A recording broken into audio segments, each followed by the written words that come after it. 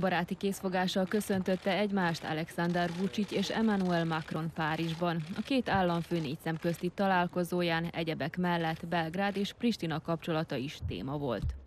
Evropa će da čeka formiranje vlade u Prištini onda verujem da pozvati jedne i druge da se razgovara i da se pokuša da se pronađe nekakav kompromis. Nisam siguran da postoji a, i da će to biti lako, ali predsednik Macron veruje u ono i čini mi se da veruje u sve ono o čemu smo govorili u Beogradu. A megbeszélés fontos pontja volt a Szerbia, Észak-Macedónia és Albánia alkotta mini-Schengeni térség kialakításának terve is, illetve ennek viszonya az Európai Unióval.